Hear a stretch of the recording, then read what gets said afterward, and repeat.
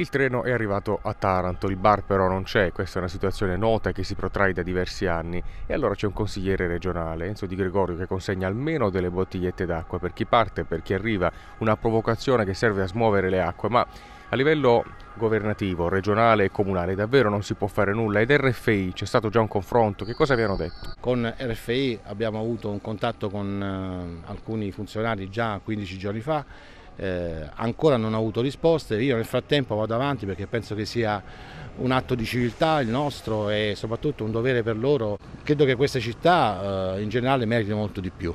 Sappiamo che ci sarà un restyling di questa stazione, i, i cui lavori partiranno nel secondo semestre del 2023 in attesa di questo abbiamo bisogno di dare il minimo del conforto alle persone che partono e arrivano. Che ne pensate del fatto che alla stazione di Taranto manca il bar ormai da tanti anni? È un bel disagio, strano, una stazione così importante non ci sia il bar.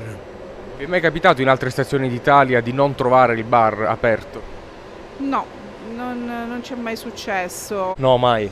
È una cosa allucinante allucinante perché non è, non è ammissibile una, una, roba del genere. La settimana scorsa siamo stati a Napoli, tutta un'altra storia e ti parlo sempre del sud, quindi non capiamo perché qui sia così. Eh, è una problematica da risolvere. Un bigliettino da visita negativo della città.